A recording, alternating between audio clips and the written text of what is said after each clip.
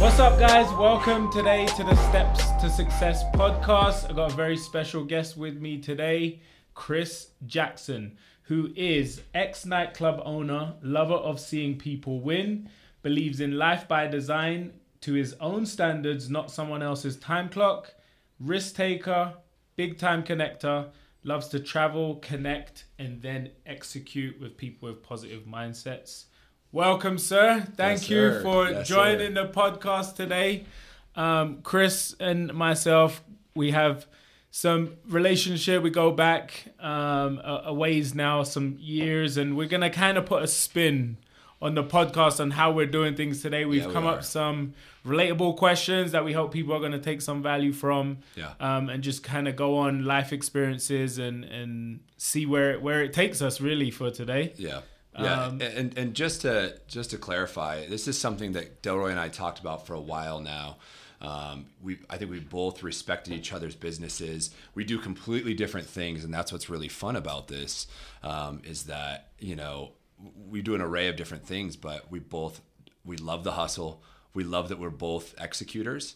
Um, we're not necessarily just idea men, and so it's it's a pleasure to be here, man. And thanks for having me on. Thank you. So you you guys may see Chris around here more as I'm doing this podcast, or even maybe following him on his one um, in the future. So we definitely are going to jump into some questions. Our first question for Chris, we're going to shoot this one to Chris first. Is what is your biggest strength and what's your biggest weakness?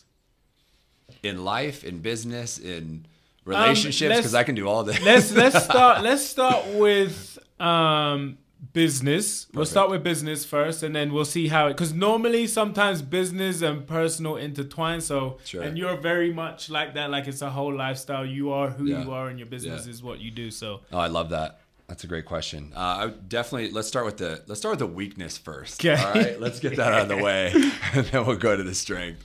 But I would say my biggest weakness in business is letting go of the reins. Okay. Right? You know the old saying like if I don't do it, it's not going to get done, or Yep. it's not going to get done the way you want it to. So I think just like having that, um, it's like having that dream truck, and you're building it with your dad, right, from the age of six or however old you are, and you know the neighbor wants to come over and help you work on it, and you're like, uh, this is this is what I've wanted, you know, and I've been working on this forever with my dad, and now I'm supposed to just let you, you know, bang a hammer in there, like it, it, that that part's hard for me. So um, I would say giving up those reins.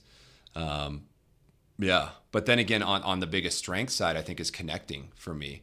Uh, my biggest strength is definitely connecting. I love seeing people win, and I like I like to see um, I like to see what ideas can come from people.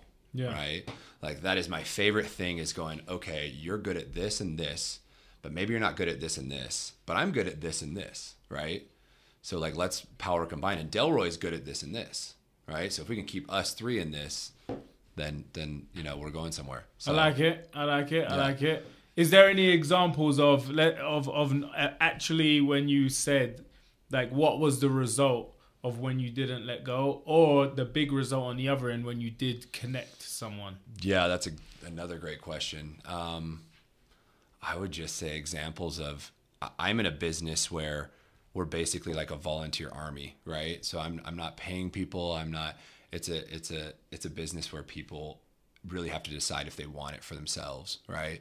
And so if you create leaders, right, all over, if you're now not trusting them to get their job done the right way, that can fall apart very fast, right? As I'm sure the same way in, in your business a little bit. Definitely in Right. real estate, absolutely. Yep. Yep. And so um, I think trusting that you're doing it right, but also not, and here's here's kind of the the the back end of that, also not hanging up on someone's potential. Right? Preach. like Oh, someone's man. potential in a relationship, in business, uh, someone's potential, and you just ke- keep holding on to that potential.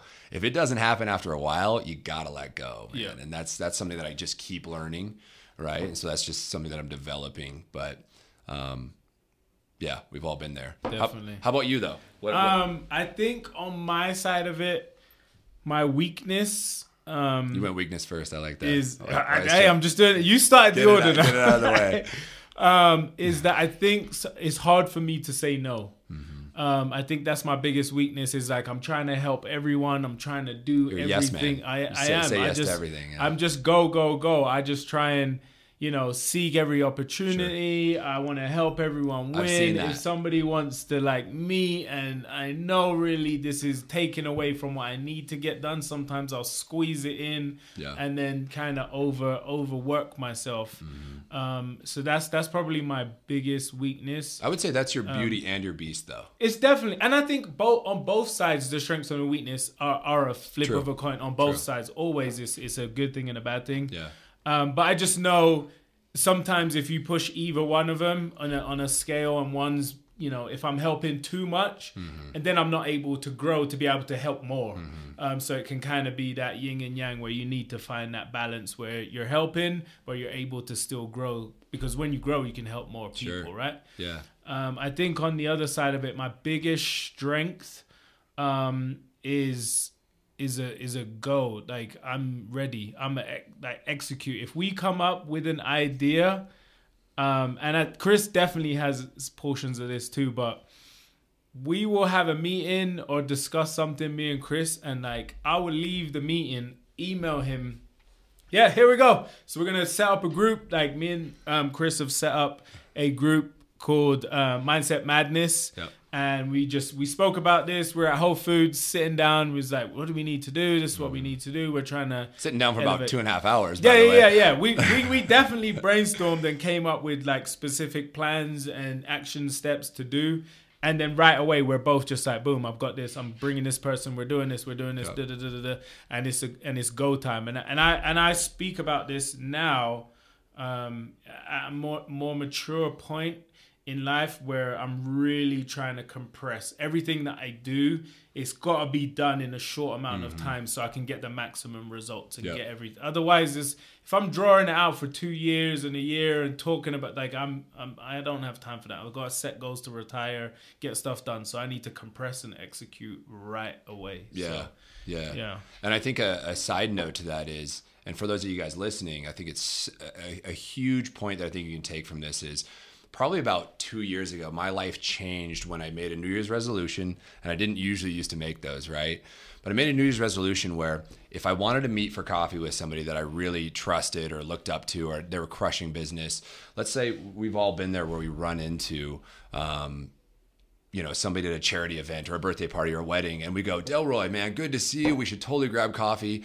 I'm the one that literally on the spot is like, they're like, okay, yeah, let's totally do that, which no one ever does, Yeah. right? No one ever does. But I was the one on the spot being like, cool, does 9 a.m. on Tuesday work for you? Yeah, yeah, yeah. And they just look at you like, oh, Like wait, I was like- just saying, Yeah, like, yeah, yeah, no, but just- I'm, I'm a doer. yeah, exactly. So I think that that's a that's really helped because now my my schedule is it, it's just A to Z, right? Like Yeah. it, it's so structured now where it didn't used to be because I'm actually going.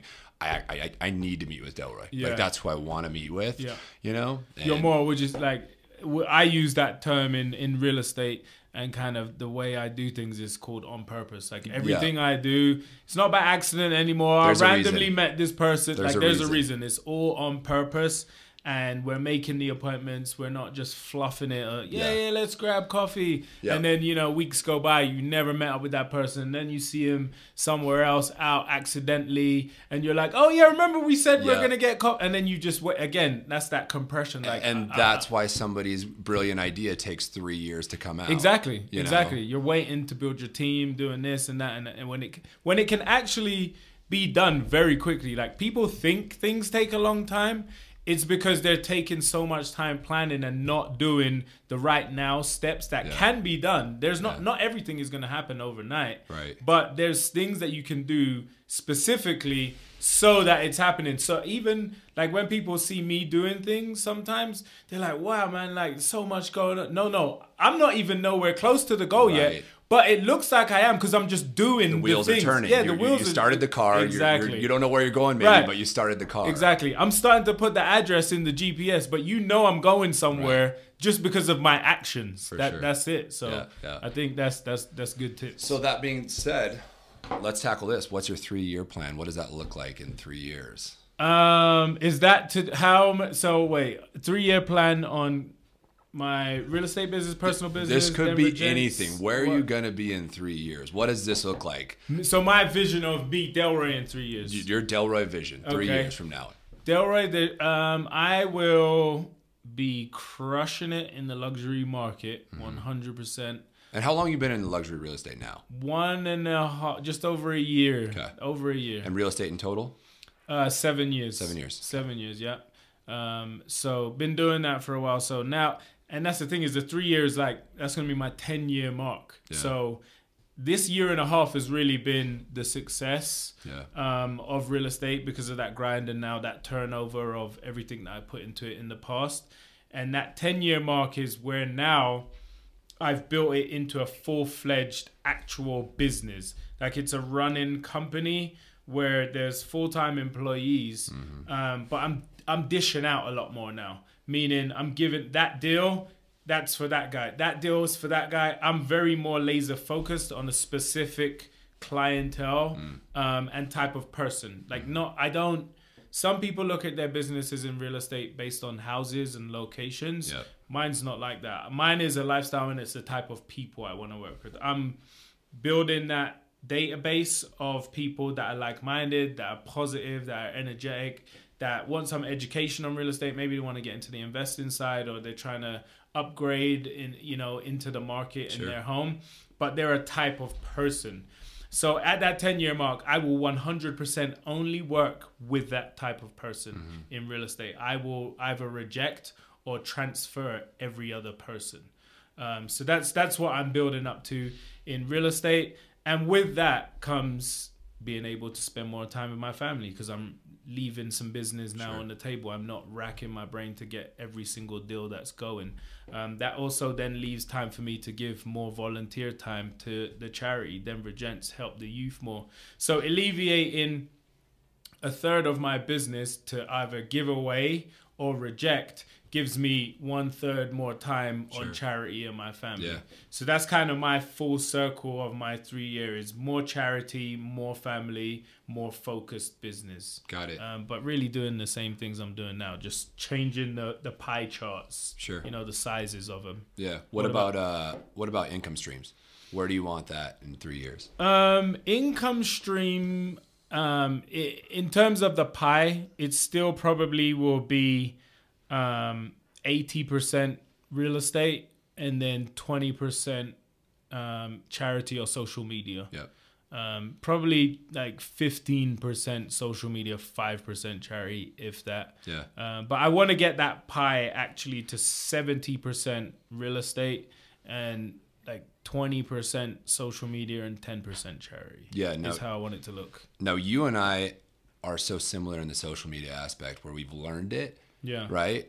Um, I think you guys from London say learned it, right? Le- no, we say learn. It. You guys say yeah, learned learned it? Yeah. All right, okay, okay, um, but did you learn from anybody, or did you just kind of? So, so I think in the social media game, if you want to be good at it, you have to be a chameleon. yeah. You know, you have to fi- you have to figure out what the next thing is. If you Yeah. don't know Insta gotta move with the stories, times. right? Then Yeah. that's a problem. If you don't know this, it's a problem. If you don't know how to, you know, you don't know the hashtag game, that's a problem, Yeah, right? yeah, yeah, yeah. So, like, did anybody teach you that?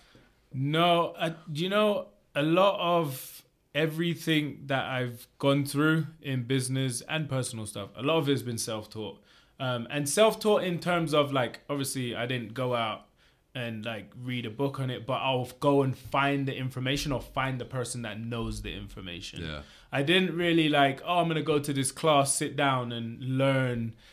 Because normally in those classes, those people have no idea how, like, the, I've yet to actually go to a social media class and be like, I'm blown away. Mm-hmm. Yeah. Like, I just, Yeah. now I know how to do it. Yeah. like, That was worth it. yeah, no, I haven't. I've never found that class. So maybe there is one. Um, if anyone in the comment section wants to let us know, um, I've never found that. So I've always just looked for the person who is the best that I've seen or similar to what I want to achieve mm-hmm. on there, and I just DM them. I'm like, mm-hmm. hey, Yeah. how'd you do that? Like, what did you do to get there? Yeah. And what can I do to get my shit there? Now, I think that what you just said is so important, especially for young listeners, right? Like, I love millennials, and everybody gives them so much, you know, grief. Yeah. But I love it because they reach out. They're not afraid to look dumb. Yeah. Right. And they'll Yeah. ask you a million questions. And I think that that is what the older generation, and I consider myself in that, right? What? In the, you think you're in the older generation? I'm not. You and I are barely millennials. You know that, right? I am, right? I'm we're creeping barely, we're creeping barely, in, creeping we're barely in. millennials, man. But um, I have noticed that the people that do really well, they just are okay with not having that ego, and they Yeah. can ask anybody. Yeah, yeah. I'm ne- I'm never I'm never afraid to ask. I mean, I I think that actually so first action step from this Mm. podcast would seriously be do not be afraid to ask. Yeah. Like today right now, Yeah. whatever you're trying to achieve, Yep. you must know someone in that space that you should just reach out to cuz Yep. you know 9 times out of 10 they're going to reply and on like sometimes you think that person's never gonna reply Yeah. to me. Like I'm Yeah. not even gonna bother send him a message. Like Yeah. Bro, I messaged this person. They had like 100,000, 250,000 followers on IG. And I was like, hey, man, like, I see your page. You're kind of doing what I'm thinking about doing. Bro, like an hour later, the guy's replying to me. We're, we're talking Yeah. in DM for like two hours Yeah. about how t- for me to get to where he's at. And I'm like, sweet. Yeah. Like, that was free information. And because the guys are normally cool. Like, they remember going through the work Yeah. and getting up there. So they're like, oh, this guy's trying to get there, man. Sure. Let me help him out. Let me give him some tips Yeah. on on how to do it. Yeah. And, and like you're not don't just bother them all the time. Just get and make sure your questions. That's another thing. Like don't ever say, "Hey man, can I ask you a question?" Like that is already wasting time. Like Yep. just start asking Just the go. questions. Just Yeah. go. Because they don't want to send three messages asking three different The- questions. right, Yeah. exactly. Just ask all the f stuff you need to get done, and then just get So it done. so find your hero. If it's not that person, find another hero, and keep going at it.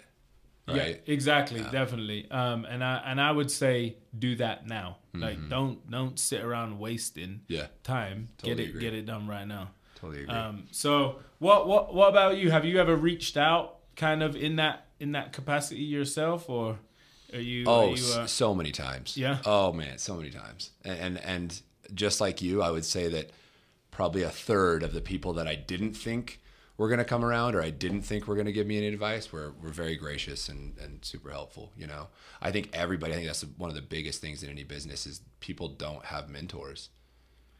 Yes, You know, so many people are just trying to do it on their own or trying to figure it out. And I'm like, cut out the steps and get there way faster with a mentor that's been there, that's done it, that's in your field. Yeah, and w- um, would you say so? In that, like, what are the reasons? Like, that's that's one of them. Like right there, I'm thinking like, what's the reason sometimes people are not succeeding Mm. in the industry? Mm-hmm. Is it like you said, having a mentor? Is that one of the pieces of the puzzle? What other pieces of the puzzle do you think are Yeah. why people are not seeing their full potential? I think it's two things. I think it's two things. And it, I've seen this in a lot of different businesses. Okay. Number one is they don't give it enough time. Okay. whether it was solar energy, whether it was network marketing, whether it was interactive video, you know, whatever I'm doing. But. I'm broke, Chris. I'm not making any money, Chris. What- Right. Like that's you know, sometimes in their head that's what they're saying to themselves. Like Yeah. they want to put in the time, but for that mo for in the in the Yeah. present, they're like, How am I gonna keep going? Yeah. You know? What how do you push through that? If you if you need to put that time in like you're saying, how do you keep going? Yeah, that's a good point. And and you know, there's a lot of people out there that are afraid to pick up another job, right? And and here's what I think. You have to find something that can pay you while you sleep and is such a low investment. Yep. That is the key. That's what I think. No matter what you're doing, like if you can find something that will pay you while you sleep and it's such a low investment with a huge possibility of return, I don't care if you do it two hours a week. I don't care if you do it five hours a week. That will start growing if you're passionate about it. And that's where I was going for my number two point is you got to be passionate. Yeah. Like I think that people get into something and they're like, well, this is what my parents wanted me to do, or this is what my degree is in, right? But they're never really passionate about it.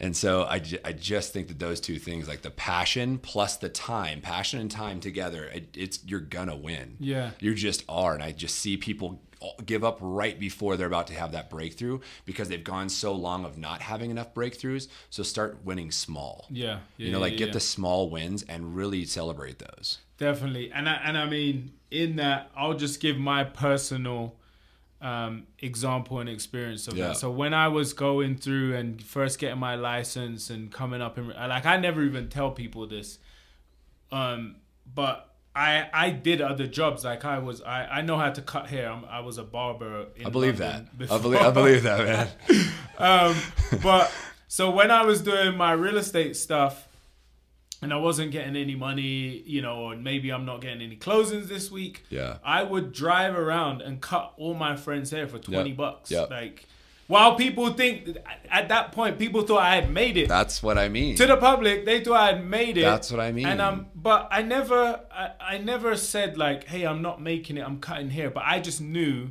again. You weren't where you wanted the- to be yet. I'm, I'm, Right. I'm just not there, and and my action steps were still towards getting there. Mm-hmm.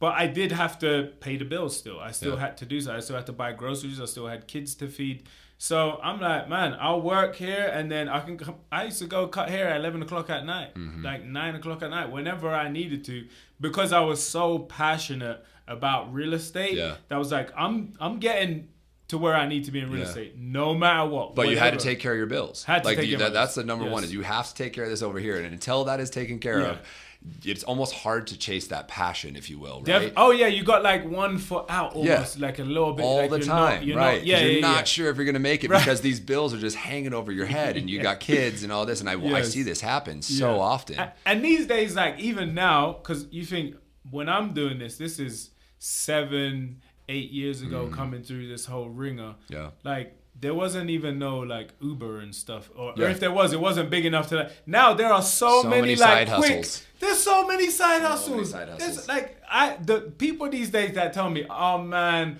I'm sh- I can't I can't do that because I Yeah. got uh, my bills, man. I don't know if I can keep doing this. I'm thinking, bro, Yeah. Do you know how many hours there are in a day? Go and do that from this time at night. Go drive Uber. Go deliver packages for Amazon. Go do. There's a million Yeah. ways to make quick bucks Yeah. these days that you can just suffice your bills with, and it's like what you know. That means to me, you're just not that passionate about doing it's mindset. Well, yeah, yeah. because you'll see those people at a concert. You'll see those Oh, people. my- You'll see those people, you know, at a concert. You'll see them out at the bar. You'll see them wherever, and, and they're Yeah. still gonna struggle because the Netflix is more important than that two hours of where they could be doing something. I don't care if you're selling bracelets online and that's your thing, or necklaces, right? Like Yeah. figure something out that you enjoy doing, or like you said earlier, there's so many people on Instagram that I, that I look at. I'm like, what a cool idea! I never thought of that, right? Yeah. Like if that was one of my passions, and I was like, I want to give piano lessons or whatever it is. Yeah. I would ask that person, how are you doing that? And Are you doing it in your free time? How did you start that? Right? yeah, yeah. Like you just start the questions that, just that you were talking yeah. about, right? Yeah, totally.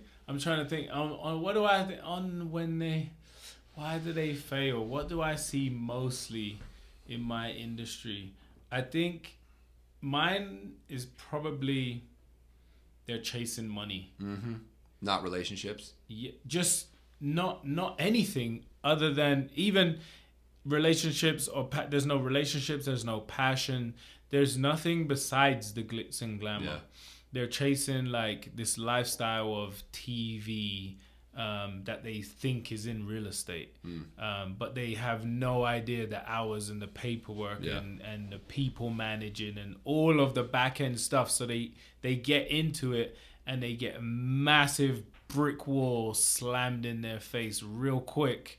And they're like oh I, like I didn't know it was it was all of this. Like man like how am I gonna get paid? I'm stressing out. So it is they, they don't put in the time. But I think there's just an unrealistic expectation mm-hmm. of what being a real estate a- and mm-hmm. being a good real estate agent at that what what does that actually entail um, and it's and it's hard and I always tell people like go be an assistant for a little while 1st like at least you- you're gonna get paid and you're gonna see the real deal Yeah. of what real estate is but people think oh it's easy like I'm my real estate agent like all they did was show up, open the door, and got a check, so I can do that. And they skip steps, but they don't know all the back end stuff that that real estate agent was doing Yeah. to get them through that door, to get them that check, and to get all the paperwork done. So I think people miss out on a lot of steps that Mm-hmm. happen in real estate and just see the end result, and then they're like they get burnt out real Yeah. quick. I mean, getting burnt out is a serious thing too. Yeah, for sure. What What would you say? With that being said, on the other end, then what are what's one or two points that they should be focusing on? um, you you really need to know what you're passionate about. Like I have to go back to your point is like because when you and if you're in real estate, you have to love the process. Like you can't just like the check. You've got like I love like negotiating back and forth with another real estate agent. I love going online and finding a house mm. That maybe wasn't on the market for someone. Yeah. I love writing a contract and submitting it and that feeling when I know that phone's about to ring and that yeah. guy's gonna think like, oh, I'm gonna win this one and I'm I'm back. Like I love all the in between.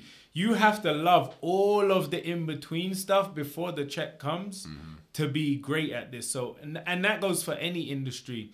You have to love the journey mm-hmm. of it. So, people need to find Definitely what agree. journey yeah. they are passionate about, not just the business or the industry or all their goals. And because the goals normally have nothing to do with normally the industry or the business you're yeah. in. So, you've got to find something that you love the journey of. If you like, if you want to be the best Uber driver, you gotta love just sure. driving. Like sure. that's what you gotta love. Or, or people, yeah, or people yeah, yeah. talking to people, entertaining people in the car. Like that, you've got to find the journey that you love. Yeah, would be what they need to focus on. Now, what about like how long did it take you to have to cold call? Like like when you started, you probably didn't have all those referrals lined up. You probably weren't right. You weren't who you are now, and you weren't known like you are now so like, how long did you have to go through that stuff? Because that stuff isn't fun. I did that in solar energy. At, you know, at the age of 31, I mean, I really had to humble myself, right, from going from nightclubs and being the quote unquote, you know, man, yeah, in yeah, that yeah. world, which is silly, but it, you know, yeah. From that to people literally going, "Hey, are you okay? I heard you were like knocking doors and like you know what, you know what I mean? yeah. Like I heard that you're cold calling people yeah. and, and trying to all these relationships and yeah. so what would you say to that person because that part's not necessarily fine. It's a very rare breed that really enjoys getting a door slammed in their face. Yeah, yeah, yeah, yeah. You know, so how long did you have to do that and and what would you say to that person? Um, so a couple of points to to to go on that is I think I actually and I think this is actually true for most people. I was who I was today, who I was back then. I, I was the same person. It's just other people didn't know I was who I am today. Got it. You know? Yeah.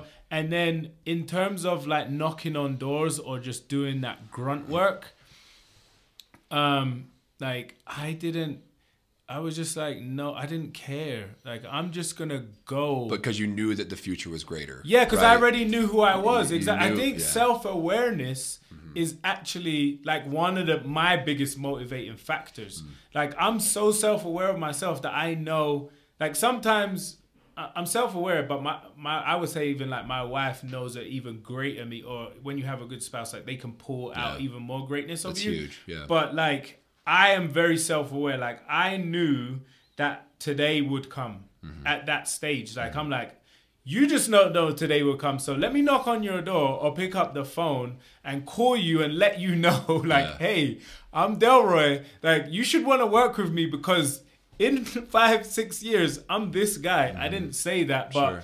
that that when you have that confidence and you make those calls, it's a different feeling because when they slam the door on you or you get no's or you get rejections, it's like, ah, they just don't know who I am yet. Like, mm-hmm. so it'll be all right. I got to figure out the person who does see the yeah. value yeah, that's good. in who I am. So I just kept going until like, oh, you see the value.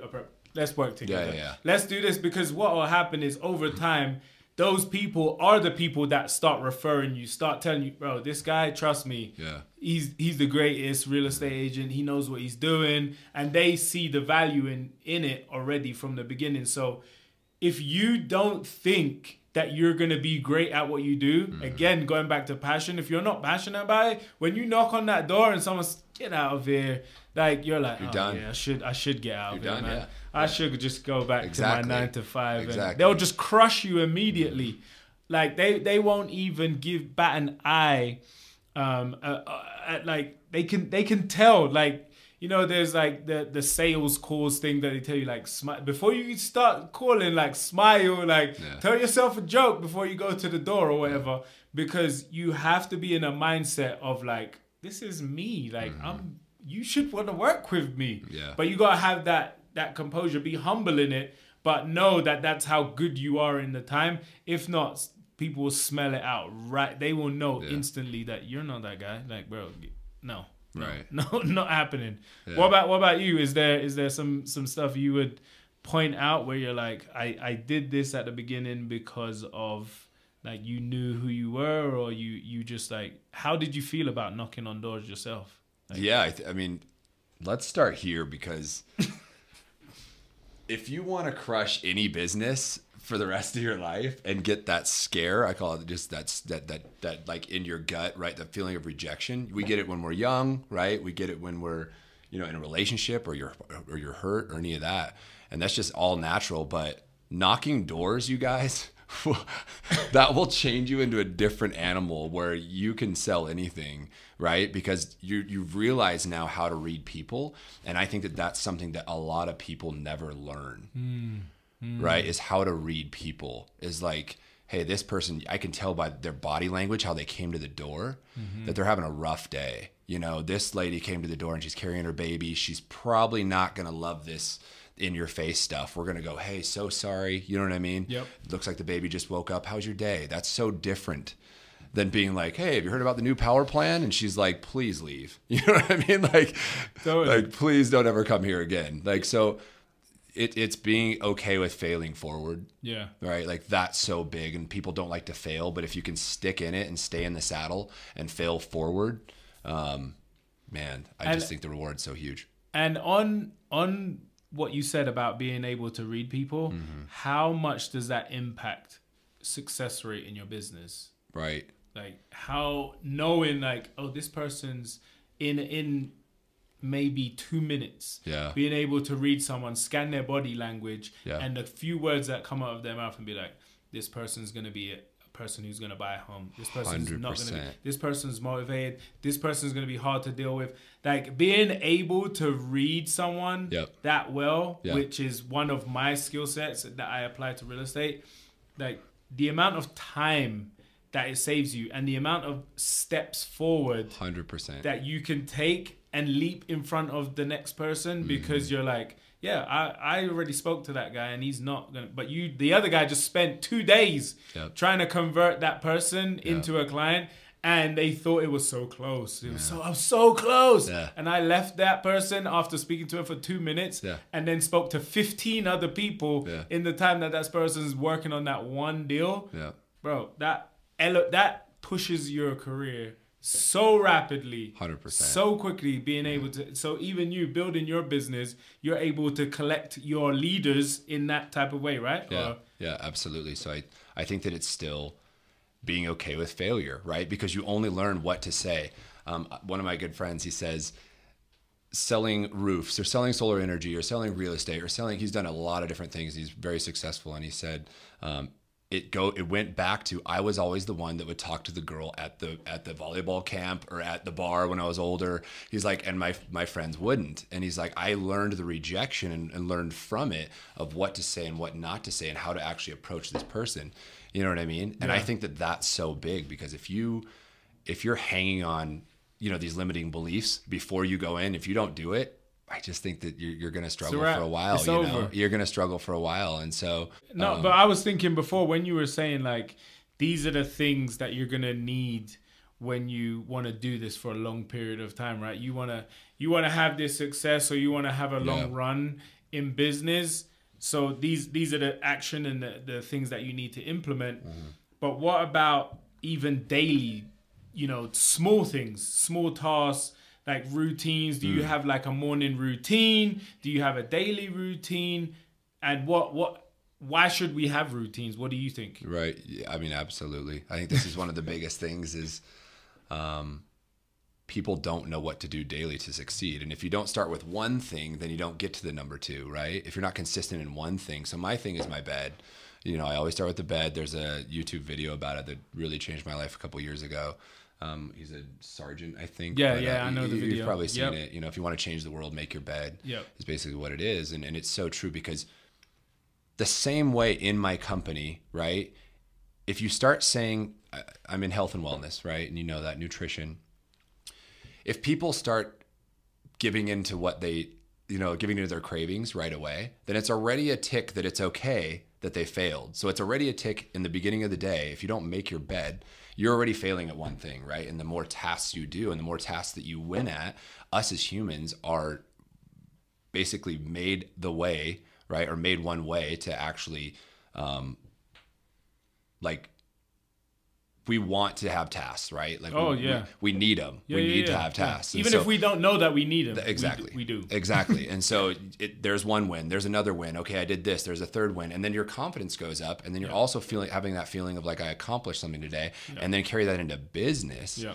right and that's where i think that you know if your tasks turn into like routines Yeah. in business, that's where the gold is. And- And, Definitely. and, I've just noticed like the most, the, the, some of my mentors, they all say almost the same thing in different ways, but they all say if you master the mundane, right, you will crush whatever business you want. And I think most people get tired of the mundane Mm-hmm. and they, they, they think that it means that maybe they're not passionate, but there's always going to be things in any business Oh, yeah. of parts that you maybe don't love. Absolutely. Right. And, Or maybe you loved it for the first year or two, but but year three, you're like, ah, you know what I mean? Or year five, you're like, ah, that's not my favorite thing anymore. Yeah. But the mastering the mundane, and I think that so many people don't do that. So, um, you know, routine wise, yeah, I think start simple. I don't think that very many people have have that many routines. You know, what about you? Yeah, What, I- what what's your daily routine, and maybe even like weekly? Do you have a weekly checklist, or is Yes. it just daily? Um, I've got daily, weekly, month. I, mine's pretty aggressive just because of my industry and, and real estate. I, I'm Yeah. trying to hit Do you do the do you do the three year plan and then the ten year plan and then the crazy money plan, right? Yes, all of it, and work and work backwards. Um, but daily, um, and I'll start by saying this: is I was watching a YouTube video, um, and it was a guy just talking about kind of your morning routine, Mm-hmm. and he said that the first 20 minutes of when you wake up like that intake of whatever you do whether it be on social Yeah, media you yeah.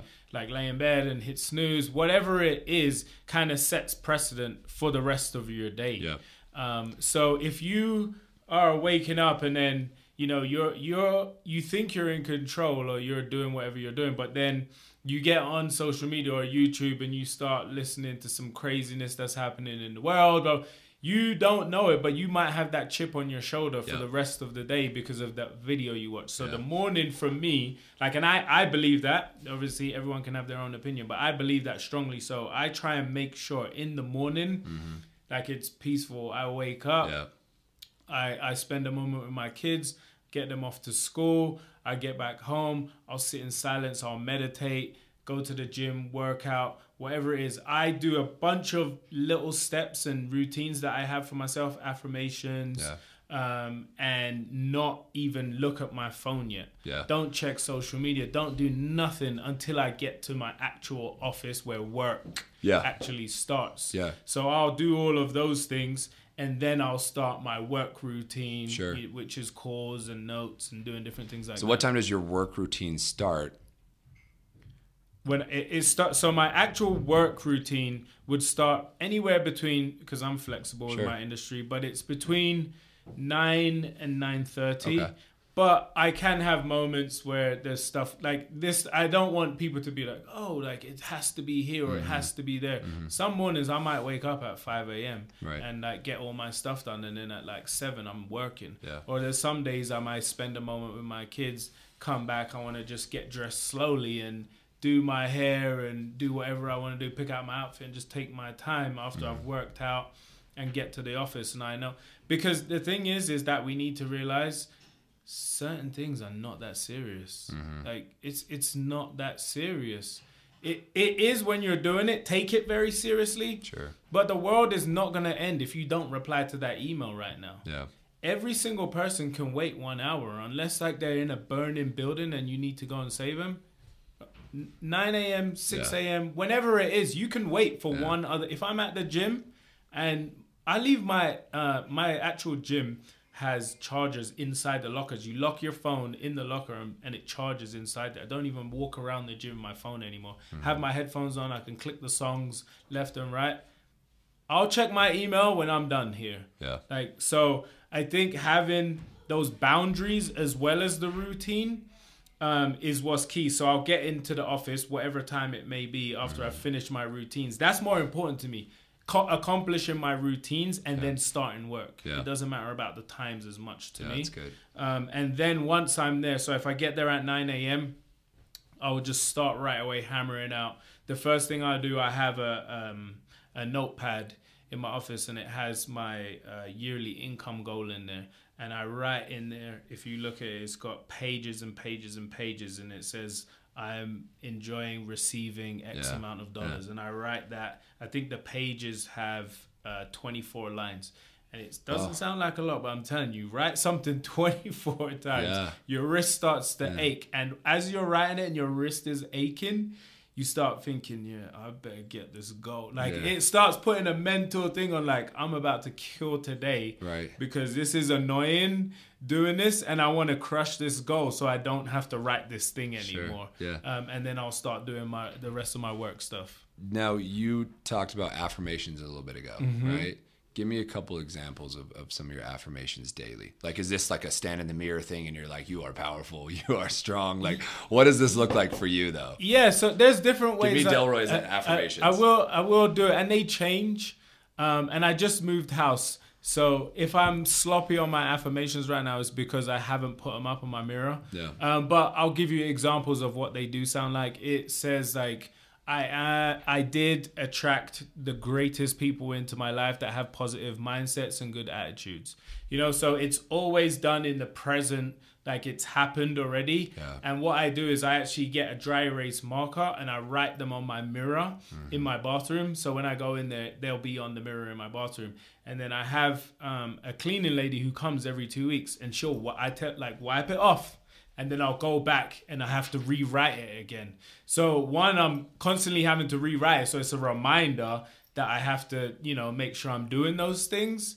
And then also I'm actually doing affirmations. So it's like a double whammy of, of getting it done. But it has to Give be me some verbiage though. Like, like, like, what are you writing up there? I'm writing, so that's what I said. So that actually is the verbiage. I would say um, it felt great to um, earn X amount Got of it. dollars. Okay. Um, the uh, I I'm in love with the uh, people that I'm around. Um, we have such a happy family. I don't. I've never said that on there. But I'm, I'm just giving you Yeah, an yeah, yeah. example. Gotcha. That was a bit corny. I'm, No, I'm not that. I get corny it though, yeah, but yeah. I'm just giving you an example of Sure. what what it would be like. Yeah, I like that you do that every couple weeks. You ever wipe that down? Yeah. and it's like you got to go back up and kind of start that over. You gotta redo You know, it. that's that's really important. Yeah, and and when I first started, um, it and and the reason that I'm not fresh on the affirmations is because I actually do them personally now. So I haven't written them up because I moved house. So Yeah. I I go and actually like think about I'm gonna write this and then do it. Um, but when I first started, I actually would just find affirmation. Like I would type in Google like, you know, positive affirmations. And then find stuff that related to me, and then just print it out and write it myself. Yeah, Um, so that's how I first started. So just in case people like it's a it's another level to like start creating them yourselves, Mm-hmm. and sometimes people might get stuck there. So if they want to skip that step and make it easier for them, just go online, find some good affirmations that relate to you, yeah, and write them down, print them out. Um, I always say write them down. I just think it's a little bit more powerful. yeah. Um, but every, just start somewhere um, and get affirmations. I mean, just saying it out loud, and I say it out loud too. Like I'm not like just reading it off the board. Like I, I say it. Mm-hmm. And that's big. I say That's it to big. myself. Yeah. Yeah. universe, God, it's got they got to hear it. Yeah, definitely, definitely. Yeah. And uh, this like it's coming from London. So let me say this because people in England might be watching this, Yeah, right? yeah, yeah. from me doing this stuff is like nuts. Yeah. Like this is not the Totally. normal. Like this is England is conservative. Like me. Yeah. Like if you asked me five years ago if I'm writing affirmations and writing in a book or doing any of this stuff, I'd be like, you're a, you're a weirdo, man. Right, Like what are you doing? Like Right. why are you doing that stuff? Yeah. But I'm here to say I've started doing it and huge changes, Yeah. massive amount of change and progress um, in my life. I, I think self growth and self awareness are like two of my biggest motivating factors these days um, to like fuel me in in the direction of like trying to achieve my goals at this point now. Yeah, self awareness. Let's talk about that for a second. Okay. Self awareness. I just think that you, if you don't know what you offer, Yeah. whether in business, relationship, anything, right? If you don't know who you are, Yeah. I don't. I think that you come across as being unsure. Do you know what I mean? Definitely. Like, so tell me a little bit about you and self awareness. Just like I know that you've probably were you always this confident, Like, were you, or did you have some times where you're like, you know, I don't know. Like, did you ever doubt real estate? Were you ever like, I don't know if I'm gonna make it? And be be mm, real. No, no, definitely, definitely. I did. There were definitely times like because this is during the recession, right? Yeah. So I'm in the recession. There were definitely times where it was tough. No, no, how are you gonna pay your bills? How are you gonna get through this? When the next deal's coming? Like Yeah. in real estate, when you don't have any deals, like yeah. No pipeline. Yeah, nothing. Yeah. Like you are literally just sitting in your house, like Yeah. okay, like how am I gonna get a check? Mm-hmm. Like you have to start doing things. So I mean, there were definitely times through that, and it wasn't even as much of I was even doubting myself. It was that it was the doubt came in when the market shifted, and I had never experienced that change. You know, that time where now the prices are down, everyone's depressed. Yeah. You know, these are this is not my mindset, right? So I'm having to deal with people who are different mindset to me and still work in this scenario mm-hmm. and dig into this new environment. So you're like, can I do this? Like, the I have to every person I deal with, I'm now having to lift them up. Like personally, emotionally, I'm going to their house. They're potentially getting kicked out on the street, and I have to sit down at the dining table with them and be like, "Look, like I know you might not see it, but like we're gonna get through this. Like we're gonna make it." And like sometimes you're telling them that, and maybe in your head you're like, "Shit, I don't know if we're I don't know if we're this. gonna do it. Yeah. I don't know if we're gonna do Yeah, this, bro. I might be lying. I'm gonna him, yeah. try. I'm not lying. Like I know I'm gonna try my best, but I don't know if we're gonna make it. But my mind's telling me we're gonna make it. But I'm just like, this is. I don't know, man. This is tough. Yeah. This is tough. Like it's so tough that you're like, you have the you have those glimpses of what if it doesn't? What if? Yeah. What if? Yeah. What if? You keep getting those what if moments, Yep. and you have to keep shaking them. Like, no, no, no. I'm gonna I'm gonna just keep doing it, and if it works, it works. Yeah. Um, so I think self aware and going through stuff like that, and that's why it's important to have the door knocking, um, open houses, or you know whatever it is you go through. Going through that because that builds your confidence to know what can be achieved, right? Because if you knock on all those doors and you're like, oh, out of fifty people, two said yes. That's cool. I know now. Like, if we didn't get this, I can get this one done because I've already done I- this 200 times If I before. do 100 people, it's gonna be five. Right, Right. Yeah, yeah. exactly. So you start being able to quantify after you go through it. But sometimes you knocking on the person knocks on eight doors, they didn't get to nine and ten, and they're like, "I'm done." Like nobody, Yeah. nobody's gonna say yes. Yeah. I'm over it. Yeah. I'm over So it. let me ask you this, and I was just thinking about this. Why do you think some people have a crazy drive to Mm-hmm. be more and some don't? Like what? Like, and think about that for a second while I, while I go on. I just know so many people. We all know that potential, right? Where in like in college, you're like, man, this Eric dude, he's so smart, he's gonna kill it. And then before you know it, he just was like, and I won't mention any any uh, you know um, jobs or anything that that he's done. Yeah, you yeah, know? yeah, yeah.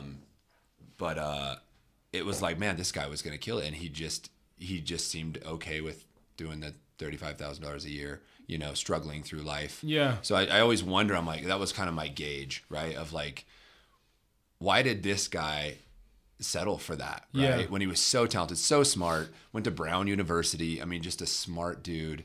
People loved him and he, he had such a huge potential. I see that all the time you know and then you see the person that you're like man that person's going to struggle. And they do so well because they learn sales or they learn you know people or they learn relationships and they get investors or they have an idea right? Yeah. but so why do you think it is that people just don't have that drive or they kind of give up? Do you think it goes back to passion? Um, I think definitely passion plays a part in it. Like this question, we could have a conversation literally just on this. We could do this for an hour. Yeah, Yeah. Because you know, I think it also is to do with environment, Mm-hmm. upbringing, parenting. Like Friends, there's so friends. friends. Yeah. You know, there's so many pieces to it. Um, because you can be dropped in different places and you can have completely different outcomes Yeah. right um, and it may be just based on that or you could be in a complete shithole and come out to be a superstar. You just never know. I don't think it's one of those things where it's like i don't think it's in you. You know some people be like oh it's in you. There are certain things that are sparks that are in you but there's there's a certain um there's a certain hustle that is in everyone, right? I think there's a level of hustle that you can apply to work in a nine to five and be the best worker, but at some point you are gonna tap out, Right. And you're gonna level out in that position, and you'll be the greatest ever at that. Um, but I think when you, it's people that feel that their value is high. I think it's to do with your personal value of yourself.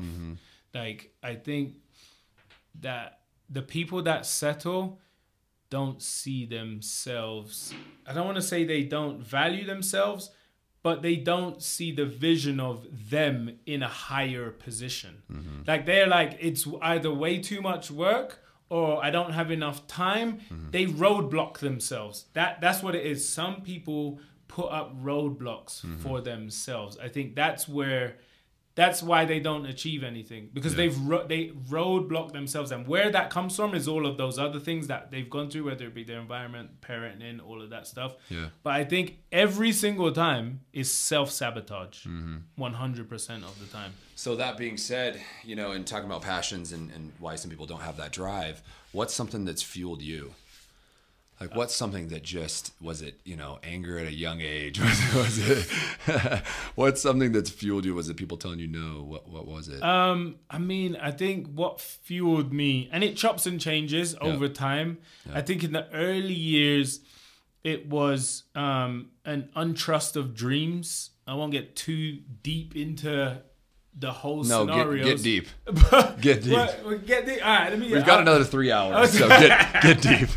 um, no, I think it came from like being given a false hope of something, right? I'll give you an example, and then like, so when I first moved to America when I was a kid, right? Actually, let me go even further back. We're gonna deep now, right? Yeah, now we're this getting is Now we're getting somewhere. so um when i was a kid i wa- like i wasn't a school person. I never really like school's not my thing. Um but i did okay and i knew if i applied myself i could do good right? Sure.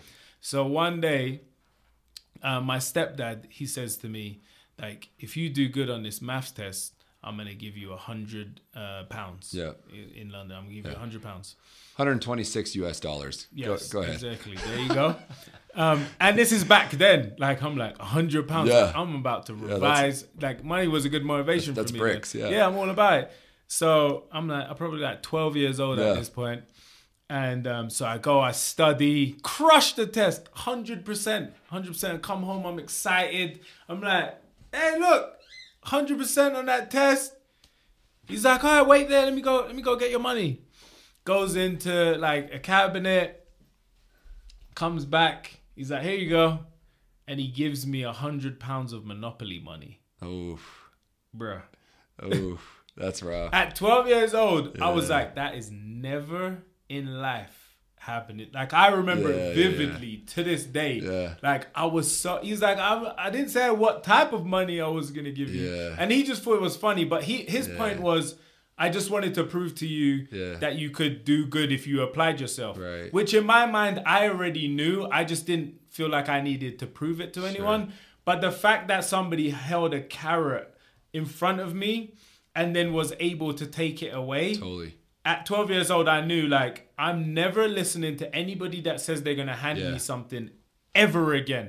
Yeah. And I'm just gonna make sure I make things happen for myself. Like, Right. If you told me today, hey man, I'm gonna do this and I'm gonna give you a hundred dollars, I'll be like, all right, cool. Like Yeah, if yeah. you come and give it to Yeah. me, cool. But I would never sit around like going and doing the activities because I'm waiting on you to give me something ever again. So that that type of things through various people, through friends, through business relationships, that happened to me and I saw that kind of thing. So I was just like, I have to be successful enough to never rely on anyone promising me Yeah. a portion of my own success. What a great blessing, though. So- in disguise Oh, at 12 to- years old. totally, like what a great. totally, And maybe in the back of his mind, you know, that was part of maybe, his plan. maybe, you know. maybe, maybe.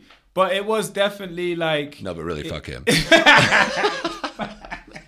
no, no, no. But it was like it, it taught me a lot. It definitely at that young age. But it was like that. And then what happens is though is is is after that now, like you are to a certain point of success where like now you don't really need anyone to ever like hand you anything Sure. and you're not Yeah. expect You- you don't really want it. yeah you've Yeah. completely killed that idea to yourself Yeah. like you've ne- you you don't even think about that anymore so now you don't need it like what are you gonna do now like Mm-hmm. Yeah. when now now you're like i'm here like oh no like nobody even if they offered me something now i would just say Yeah. no Yeah. so now what's fueling me? Like now, how do you get over that to keep driving and motivating yourself? Yeah. And then you have to kind of dig into a whole new mindset and figure out a whole new way of of life, basically, to give yourself some more motivation. But like, I'll, I'll tell you mine. But on you, like, did you have a moment like that? Like, what what fueled you at the begin in the early stages? So, in the let's do the let's go backwards, okay? Okay. I think that I was recently what's fueled me is everybody's hate for network marketing. Okay. So mine is like I want to actually. oh, actually you're a network marketer. Right, right. You know what I oh. mean? Like everybody's like, ooh, because there's so many companies that just don't do it right. Yeah. And network marketing is based on people, which people will let you down. Yeah. Right. So the person on the beach going, you don't have to do anything, right? But they actually are working their ass off. Yeah. But the, what people see is the person on the beach going, just sign up and you're going to start making millions, right? And so Yeah. it looks fake. Right, and and so right, it's all it's all like this facade of of people that aren't really making it yet you know or haven't made it at all and maybe they've got two other businesses that are actually paying them but they're going if you hop in this because they want you to join right Yeah. so i'm here to prove that that's not the case right? That you want to be so transparent. And it's something that i'm working on also you know like in my life and in a lot of my team's life as we talk about this where we're like let's make sure that what what it actually looks like is what it is.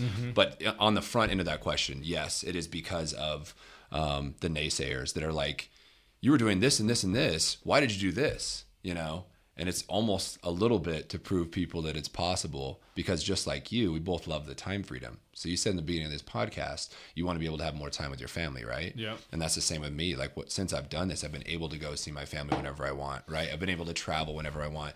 And it doesn't have to be network marketing. And for those of you listening find something that you love that you can make money with in the pockets of your time right? Yeah. in residual income. And that's that's you know the basis of my message So and that's what i'm super today, passionate about. currently, are you still what in the in the fuel and motivation portion? Are you still a little bit in the in the hushing the naysayer mode? Are you in? Does, does that still live? I still, I very much so alive, very much so, very much so alive. Um, is the person that's like, you know, they're not gonna make it. You know, Yeah. like they'll be back. They're gonna do something like, you know, the nine to five or a salary or whatever. So, but and then going back to in the beginning, and I like that you said when you were 12 years old. I mean, you know, kids are so impressionable, and so I don't I don't forget when you know a basketball coach was like. You have so much potential, but you're doing this, right? And I'm like, I don't know, I'm just this skinny little white kid. You know what I mean? Like, I'm not even supposed to be here. Um, and the, the- I always remember all those, you know, all those conversations. And if I really thought about it right now, it it just pop in my head. Yeah. But yeah, Yeah. but um, I don't think that there was like a a defining at 20 years old. Somebody told me I couldn't do this, and then I went and you know, I don't think there was necessarily that. But it's always the fuel of the most recent person saying something. yeah. Does that make sense? Have you have you had like so when I when I was going through when I had that mindset and and, and sometimes that mindset it, it weighs on you heavy sometimes. Yeah. Like have you I used to have like moments when I would like think in my head like at that point that's when I'm gonna have like crushed them. Yeah. Um, and I'm gonna do X, Y, and Z. Yeah. Like you have like a goal set of when you've crushed the naysayer. Yeah, you have it played out. You have it played out like you play it out Yeah. in your mind, right? Yeah. Like, like what does that look like for you? Like, what, what? Not that you would ever do it because I've never done it. Totally, Because by the time you get there, you're like, I exactly. I don't care that anymore. stuff doesn't matter. It doesn't even matter, right? I've, I've had people go, "Oh, you're gonna join Chris's puppet show." I remember somebody said that, or you, "Oh, you're gonna join his circus," or "Oh, he's just using you, right? He wants you in his downline and stuff like that." yeah, And like, yeah, the play out, right? And I won't go into it, but I always want to stay humble, Delroy, and I mean that. No, no, I- but this isn't- is an imaginary play out because we said you're never gonna do it. Tell me what is going on. Like, Well, I, well, nothing speaks louder than than money. Yeah. it doesn't. Yeah, you know, yeah. and uh, if you're impacting people's lives, and you're you're sorry, social media is that way, and no matter what people say, You know, if you can see people traveling and you can see them actually making crazy money, you Yeah. know, or great money, whatever that is, then that speaks more volumes than than you know the old school like check out this check. You know what I mean? Like this is what I made last week. Like that nobody. No one cares No, about that but just you enjoying life is the best. Yeah. You enjoying probably, life is the it's probably a greater feeling too when it's actually like you said you're humble in it chris is super humble in it he like but he's helping make hundreds of people how many people would you say is in your your sphere of what you're doing now About two thousand. okay 2000 he's helping make 2000 people money right and and a If lot of they it- choose that, if- right? If, they choose right. that, if they listen Right. and do whatever Yeah. um, your instructions are, but I, I'm saying in those in those naysayers' mind, imagine the people that are here locally. It's not even Chris showing off or doing anything, but imagine people that are around him are living a successful life, And Like, that's it. That's it. That's Like- the point. Like, look, I'm not. I don't even need Correct. I am happy because that person That's is the point. successful. Like that person's making money. That person just took a vacation. And yeah, we're doing the same business. That business that you said is trash. Yeah. They, they- we're working together on doing Yeah, that. and that's the big win. Right, that's the big win. That's the revenge. Exactly. If you Yeah, yeah, yeah. Is that and and just to go back to my first podcast, Lonnie Poor at the end, he said, when you become successful, you should look to your left, look to your right.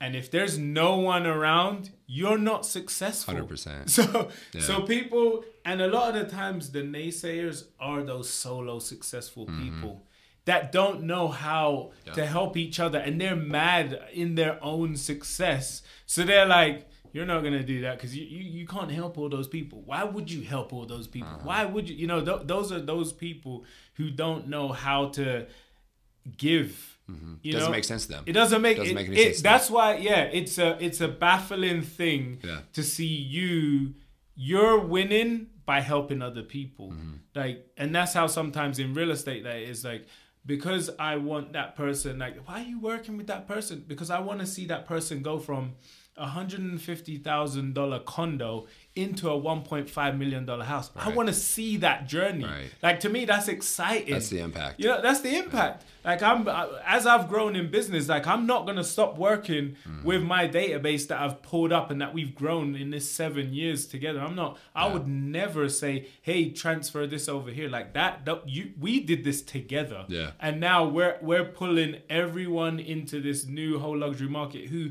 maybe even that person didn't even believe they would ever be able to afford that house. Yeah. They didn't even believe they would ever even own a house before. And now they're like, bro, they already helped me get Yeah. from this, that, this, that, and now we're at this point. So I think definitely biggest win is helping other people win. Mm-hmm. I think that to me is like amazing, but you cannot strangle yourself in doing it Yeah. um, at the same time. And is that for you? Like, so, do you ever get to the point where you're overwhelmed with the amount of people you're trying to help, or is it always you've had that balance and you know how to kind of, you know, like uh, uh, how how do you facilitate? Like you said, there's such a big team, two thousand people. Yeah. How are you able to even facilitate that? You you help the people that have their hand up.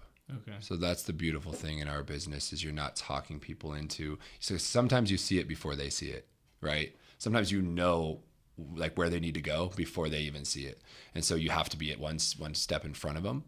Um, but you really don't push; you just run alongside, and uh, you walk with the people that want to walk, and you sprint with the people that want to sprint. Right? Everybody's everybody's everybody's what they need. Like their needs are different, right? So you know, some of my friends might think that, hey, like like 300 bucks a week, right? $1,200 a month would really help our family. But which, by the way, the average divorce or the divorce rate would go up by 50%, by half, with the average household having another 350 or $400 a month at the end of the month. That's it. Wow. Yeah, and you can Google that. Everybody Google that. Um, so, so that being said, imagine what an extra thousand dollars a week, you know, or six hundred dollars a week, you know. Wait, are you saying the divorce rate would go down or go up? Go down. Go Did- down. Yeah, yeah. Okay, Did I say okay. up? I think you said up. Okay. Yeah, Yeah. divorce rate, d- divorce rate would go down Yeah. by almost fifty percent. Because they say the number one reason people get divorces because of financial. correct. But I before I heard that, and I, I saw that I actually looked this up on a bunch of different you know areas, And before I heard that, I thought it was like, you know, fifteen hundred, right? Somebody would need fifteen hundred. Like fifteen hundred dollars would change somebody's Life. marriage, and I, I'm like, yeah, that makes sense to me. But four hundred bucks, like three fifty, Yeah. that's so low, It's crazy. right? At not a week, a month, three fifty at the end of the month. If you had just a little bit more, fifty percent divorce rate would go down. Wow. Yeah, which is crazy, but. So Um, to, to help divorce rates in America, what me and Chris have done. There's our news. Yeah. So if you want, no. So we actually, um, not not to help divorce rates, but in business and and doing this as as we said, we like to help people. We like to push and garner these um, tight knit, positive mindset relationships. So we've set up a group um, to kind of be the incubator for this. Um, and you have to basically the criteria is you have to earn six figures plus have a positive mindset and be willing to share. Um, and we're going to put a link in the bio um, for everybody who wants to be a part of this group. Yep. um, we're going to meet at once a month and we're just basically literally going to have these types of discussions where we're going to be completely open share our ideas um, and tell everything of of every step that we've gone through in our careers, how we get there, and then have people obviously in the group that's se- even seven figure income earners they're willing to share and help you grow um, to earning seven incomes as well. So that is what our kind of mission is. I, I would say outside of even our business, my Yeah. real estate, um, your health and wellness industry, is that we just want to keep on continuing to have the five best people around us if we Yep. Talk about it on a micro level because that is going to be Exactly. you know our average so we just are always trying to push that bar up Mm-hmm. um, and have those tight great um, successful relationships around us and it's not just about money it's just that we know the grind somebody's gone through to get to six figures at that point in their career so Yep. i want everyone to come out join us if you can be a part of that group um, but you, as I said, you may see Chris um, doing some more podcasting here coming up soon, and he would definitely be a regular um, on my show. Like and subscribe to the podcast. But I want to thank you Thanks, brother. um, for coming out. Thanks for having joining me on. That was Thank fun. you.